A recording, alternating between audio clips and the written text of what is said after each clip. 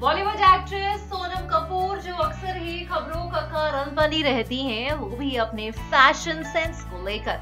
दरअसल हाल ही में सोनम की एक तस्वीर सामने आ रही है जहाँ पर सोनम ने सूट के ऊपर शर्ट को पहना हुआ है। हाँ देखा जा रहा है कि इस तस्वीर को लेकर सोनम ट्रॉल भी हो रही है।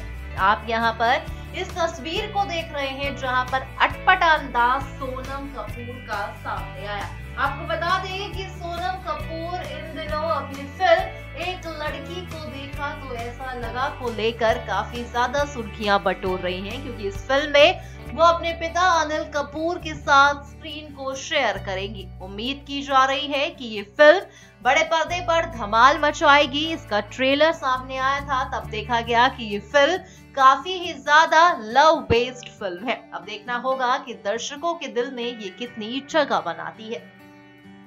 Next time, newsroom, report.